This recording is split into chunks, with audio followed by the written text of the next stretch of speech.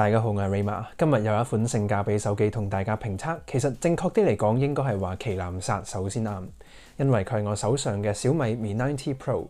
今次 Pro 版本採用到 Snapdragon 八五五處理器，而我手上嘅版本亦都配備八 G RAM、二百五十六 G ROM 嘅 storage，真係不折不扣旗艦機。其實咁亦都多謝翻品牌方面悉心安排，可以喺相對比較快嘅速度同大家測試。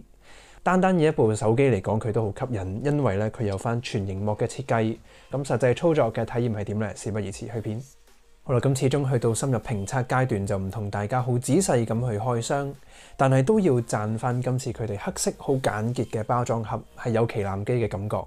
同埋今次嘅配置都有驚喜，今次跟機送呢個機殼係一個好薄，唔會令到手機增加厚度太多或者係重量嘅機套。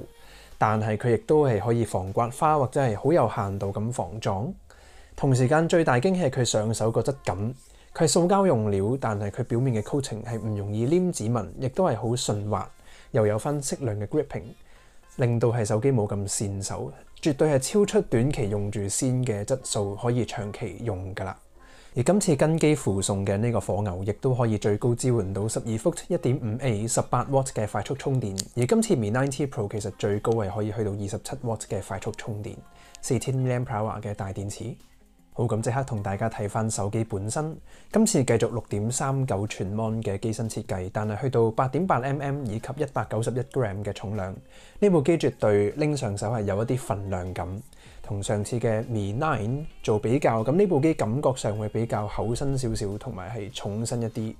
而喺設計嘅元素方面，繼續都係雙玻璃面加金屬邊框嘅設計。今次呢個漸變嘅兩種顏色配置，都係隱藏住一啲高科技嘅感覺，散發住一啲型格嘅氣息喺度。咁個人覺得呢個設計都係好型啦，好獨特少見。同時間，大家都可以再仔細睇佢做工。今次機背玻璃面板同金屬邊框嘅縫合係做得好完美，完全冇任何嘅一啲緩衝膠邊，以及佢縫合起上嚟摸上手都係好順滑，feel 唔到嘅。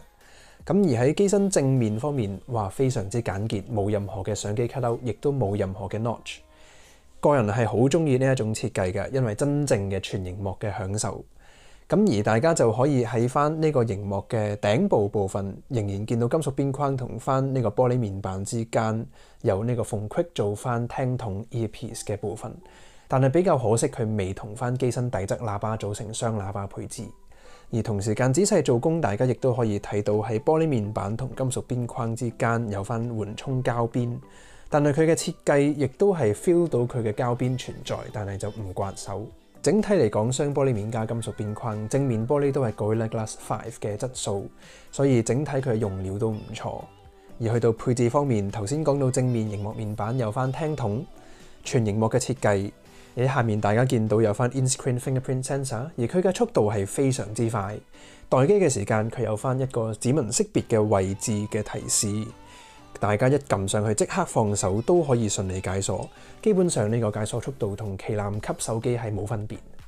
而去到機身頂側，大家見到居然仲有三點 M 耳機插口，另外係 Pop-up Camera 嘅部件，而呢個 Pop-up Camera 喺大家見到彈出嚟嘅時間有翻 Animation 識着燈，好特別嘅設計。而好特別嘅地方係大家充電嘅時間，同樣係會有翻一個窿位係散翻呢個着燈嘅呼吸燈效果。咁啊，有埋提示燈嘅作用添。機身底質就係 USB Type C 插口、單喇叭以及有翻 Dual SIM 雙卡雙待嘅插槽。整體由於呢部機雙玻璃面加金屬邊框嘅用料，再加上一百九十一 gram 都有翻少少份量嘅感覺，拎上手話係好紮實嘅做工嘅感覺，絕對唔係大家想象中可能呢個價位嘅手機可以達到。都係真係好中意佢嘅上手質感以及係全螢幕設計。而講到呢個機身以及係熒幕方面，如果大家仲係為緊呢部機揾翻適當嘅保護，唔想影響機身嘅重量以及熒幕顯示嘅效果，咁今次呢個好獨特嘅機背貼就可以係提供翻防刮花嘅效果，同埋令到呢個本身圓光漸變嘅機背有翻一啲質感 texture 喺度，以及係熒幕玻璃貼方面繼續有翻大家都知道嘅 Triskin 全貼合手工玻璃貼，咁佢真係我用過質素最好嘅玻璃貼嚟。全貼合技術令到佢嘅透光性特別高，可視角度以及係顏色顯示都係唔影響嘅 Triskin 全貼合手工玻璃貼。有興趣嘅話，記得喺下面影片描述位置嘅 link 揾翻呢個玻璃貼以及機背貼。好快同大家去到效能同功能方面。首先，今次嘅系統操作界面係 MIUI 十點三點一，建基於 Android Nine Pi。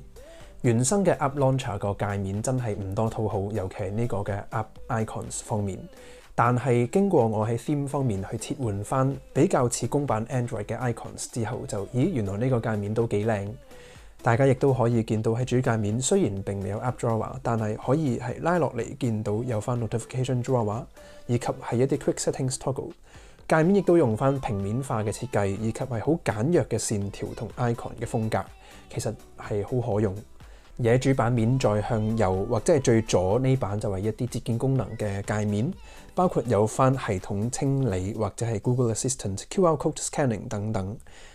而呢套 MIUI 針對手勢操作嘅功能都係非常之完善。首先包括有翻 Ambient Display，即係 Always On Display，大家係閂咗 Mon 嘅時間就可以睇翻時間顯示同埋有翻指紋解鎖嘅位置。而同時間大家亦都可以啟動翻 Double Tap to Wake 或者係 Raise to Wake 嘅功能，Lock Screen 嘅部分，然之後再解鎖睇 Notifications 等等，亦都可以。而喺 Full Screen Display 入面，呢個原生嘅虛擬導向鍵操作，或者都可以用翻全熒幕嘅手勢操作，體驗翻呢個咁震撼嘅全熒幕體驗。咁而今次呢個就係喺中間向上拉就係主頁件，中間向上 hold 住一陣就係 Recent Tabs 嘅版面，然之後再喺熒幕嘅左邊或者係右邊邊緣向入拉就係返回鍵嘅作用。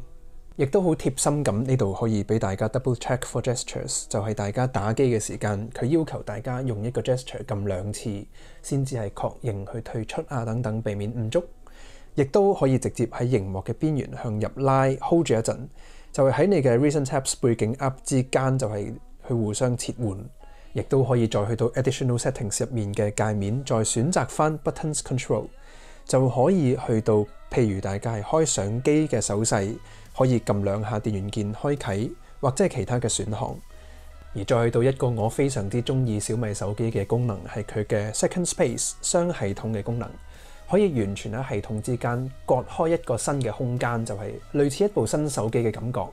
大家喺 Space One 喺主系統入面嘅所有 Apps 以及係個人檔案資料，完全唔喺系統二嗰度出現。系統二所新增嘅 App 或者係影嘅相，亦都唔會喺系統一嗰度重複出現翻。好似兩部手機咁，雙卡雙待再用呢個系統咁就啱晒。大家可以直接喺待機嘅時間畫唔同嘅圖案啦，就係開啟唔同嘅系統，咁就完全係好自然嘅操作嚟。咁另外再配合翻 Jewel Lab 嘅雙 Apps 功能，可以有三個 WhatsApp、Facebook 等等嘅 account，非常之誇張。NFC、Google Pay 等等嘅 Tap and Pay 功能都可以喺今次嘅 Mi 9T Pro 上面用到。至於喺呢個操作嘅順滑度體驗方面，早前睇過唔少外國嘅評測，就話到佢有一啲 frame drop 窒嘅問題，未去到頂尖旗艦手機水平。咁但係我手上呢部八 G RAM 二五六 G ROM 嘅頂配版，以及係國際版，即係香港大家買到嘅行貨啦。咁用到 MIUI 十點三點一國際版 Global Version 嘅話，咁其實用翻原生嘅界面嘅操作系統，我用 WhatsApp、Instagram、Facebook 等等。打 email 或者日常喺界面上面遊走嘅操作，用咗都幾個禮拜時間，完全係揾唔到一啲遲緩或者係 frame drop 嘅問題。操作可以講係順滑，同旗艦手機冇咩分別嘅。Snapdragon 八五處理器再加八 G RAM，當然打機可以開到最高 Ultra 嘅 graphics，最高嘅畫質都係好順滑咁體驗。Adreno 六四零 GPU 再驅動翻呢個一零八零 P Mon 打大型 3D 遊戲，絕對係唔需要擔心。而當大家打緊機嘅時間，今次小米都加咗個遊戲 Game Center 嘅功能，可以喺大家見到熒幕最左上角嘅隱藏半透明嘅抽拉嘅位置拉出就進入 Game Center，亦都可以有翻熒幕錄影功能，亦都可以有熒幕截圖功能，以及係 Speed Boost 嘅功能，亦都有好獨特嘅 Floating Windows 功能，就可以大家打緊機嘅時間擺一啲常用 Apps 喺度，例如 Internet 呢個嘅 Browser 方面。可以以 Floating Windows 嘅形式喺上面顯示，亦都可以由 WhatsApp、Facebook 等等都方便。咁喺同大家講完一啲個人體驗方面之後，都同大家做翻同一開 Apps 速度測試，打開同一系列嘅 Apps 遊戲同程序。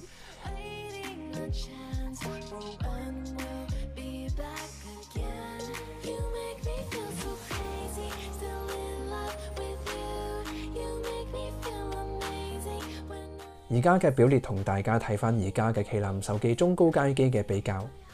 又去到第二回合，同大家開翻頭先第一回合開咗嘅 Apps，睇下所有係唔係繼續喺背景執行緊。八 G RAM 嘅版本當然係所有 Apps 都繼續喺背景執行。切換 Apps 同 Apps 之間切換都好順滑、好順暢。多功表現基本上都係而家頂尖旗艦手機表現。整體今次操作界面原生嘅 App Icons 真係唔多討好，但係大家就可以透過翻原生嘅 Theme Engine 係將佢解決。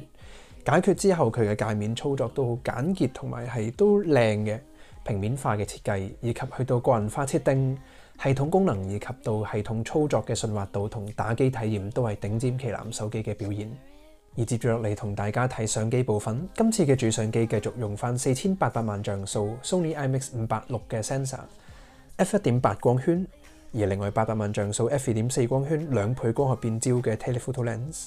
千三萬像素 f 二点四光圈十二 mm 嘅超廣角鏡，而今次主鏡頭同 telephoto lens 仲居然除咗 PDAF 之外係支援 laser autofocus 镭射對焦添。咁當然繼續喺同大家睇成像效果之前都睇翻相機嘅界面，今次功能係非常之豐富，喺普通嘅標準自動影相模式方面。有翻 AI 嘅 Scene Detection，有唔同嘅場景自動偵測，亦都有 HDR 嘅開啟，可以揀 Auto 或者 On Off 嘅。而當然都有翻四千八百萬像素嘅拍攝模式，有人像景深模式，而呢個模式都可以用到 Depth Effect，系去將光圈大細調校，將背景模糊嘅程度係按照自己心水選擇。亦都有 Night Mode，就係透過疊相同增長曝光時間，提高終極低光拍攝嘅能力。亦都有全景圖以及有專業模式。呢個專業模式大家可以見到，可以手動喺三個 lens，包括有 ultra wide angle lens 以及係標準鏡頭同兩倍 zoom 鏡頭切換，亦都支援手動嘅快門速度，令到拍攝嘅彈性係大大增加。亦都可以係手動開啟四千八百萬像素嘅拍攝模式。而最後佢居然係支援翻 4K 六十 frames per second 嘅拍攝，4K 三十 frames per second 拍攝。亦都有翻 Super Slow Motion 可以做到一零八零 P 九百六十 FPS 嘅慢镜，大家可以睇睇拍摄效果。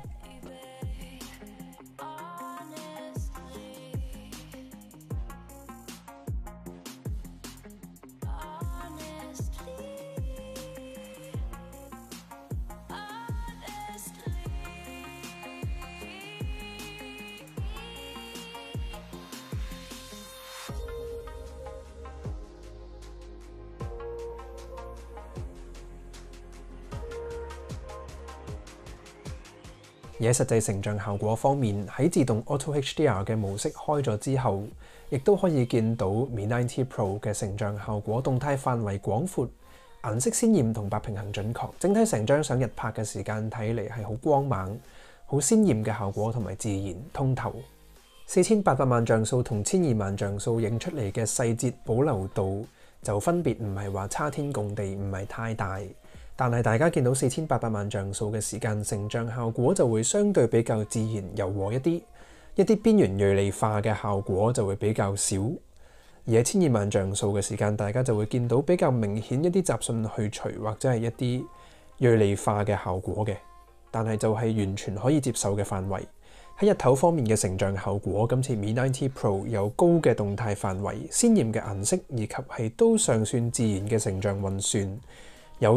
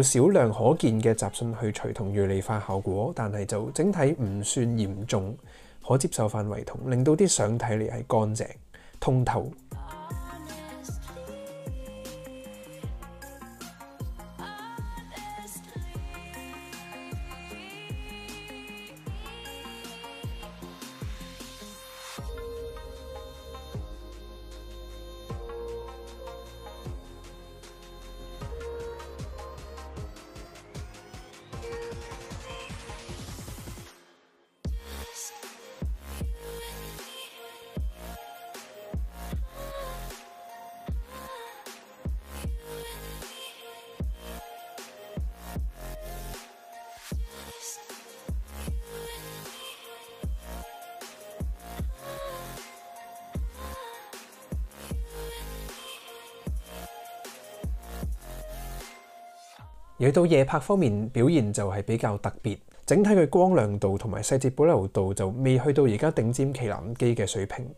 但係當大家開咗夜拍 Night Mode 之後，就唔單止令到成張相更加光，顏色更加飽滿飽和度高，佢亦都會做到一啲嘅細節光處過曝同暗處低光嘅光暗動態範圍嘅補償之外，亦都令到成張相係更加銳利同細節保留度係明顯提升。喺 Night Mode 夜拍模式嘅幫助之下，Mi90 Pro 就可以影到有接近而家頂尖旗艦手機嘅成像效果嘅水平，光亮度高、顏色飽和度高，係好鮮豔通透嘅夜拍。動態範圍當然 Night Mode 嘅幫助係唔需要擔心，細節保留度、銳利度都喺夜拍模式之下係好大提升幫助，係有驚喜嘅效果嚟。少少比較可惜係呢個夜拍模式並未能夠應用到去廣角鏡上面，只係喺主鏡頭度用到。而最後同大家補充翻少少自拍樣張俾大家睇，二千萬像素主鏡頭同樣支援翻 AI 嘅自動場景偵測，以及有 Auto HDR 嘅支援，所有嘢都係完美咁嘅曝光嘅。咁而細節方面，大家都可以見到佢有一啲雜訊同埋雜訊去除嘅痕跡喺度，但係整體可以接受，同埋佢嘅 texture 都做得唔錯，頭髮嘅一啲細節都見到。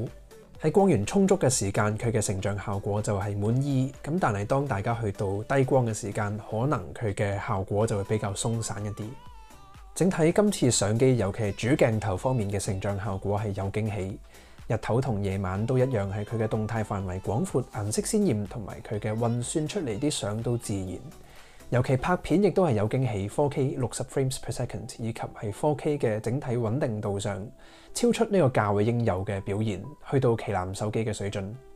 至去到多媒體應用體驗方面，今次用到六點三九寸 AMOLED 嘅熒幕，Full HD Plus 一零八零 P 嘅解像度喺呢個 size 上面就都唔會揾到有顆粒感，而佢係支援 HDR10 嘅內容顯示，整體呢塊 mon 嘅顏色顯示同埋佢嘅可視角度。全黑嘅黑色都係 AMOLED 熒幕嘅特性，即使係用開旗舰手機嘅我自己嚟講，用咗呢塊 mon 之後，都覺得佢嘅顏色顯示係鮮豔，全黑嘅黑色啊，以及係光亮度等等都係未有明顯嘅一啲阉割。呢塊 mon 整體嘅顯示效果都係高，相對比較可惜係仍然用翻單喇叭配置，但係呢個單喇叭都好大聲，大家可以聽聽而家效果。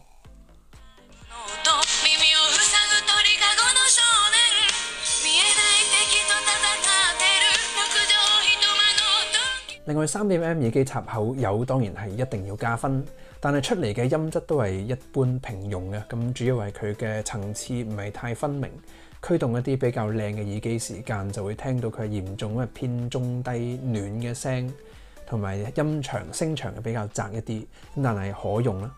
而但係亦都當然有翻完善嘅高清藍牙傳送 codec，包括 AAC、aptX 等等都係有翻晒。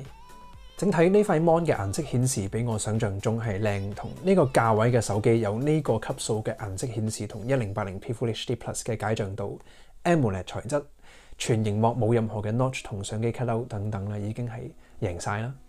最後去到電池續航力方面嘅測試，今次八點八 mm 嘅機身以及一百九十一 gram 嘅重量，其實都可以係原因係四千 mAh 嘅超大電，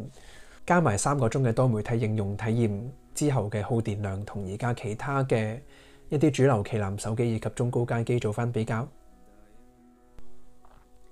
總結，今次小米 Mi 9T Pro 用到 Snapdragon 八五處理器以及有翻八 G RAM、二百五十六 G ROM 嘅選擇，絕對係不折不扣嘅旗艦級嘅規格配置。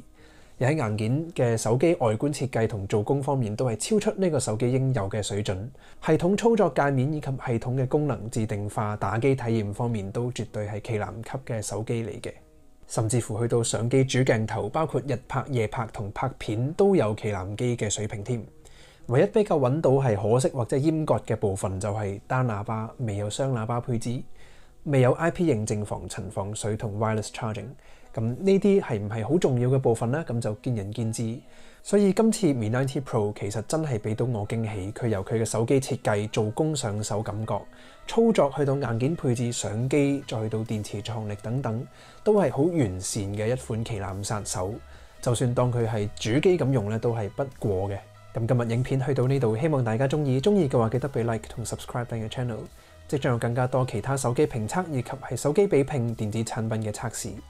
下次再見。